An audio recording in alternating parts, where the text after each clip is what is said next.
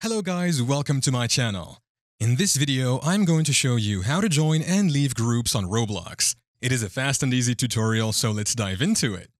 I will use the PC browser version of Roblox to show you how you can join and leave groups on Roblox. So, open your browser and go to roblox.com. Here, log into your Roblox account. Once you have logged in, the homepage will open.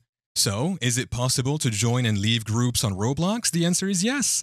Follow keenly to find out how you can do this.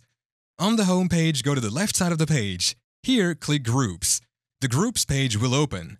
Here, you can see the groups you are in. To join a group, click More Groups here. On this page, you will have lots of groups. You can select any of these groups. Here, click Join Group. Just like that, you have joined this group. You can also search for groups on the search bar. Type in the name of the group, then search.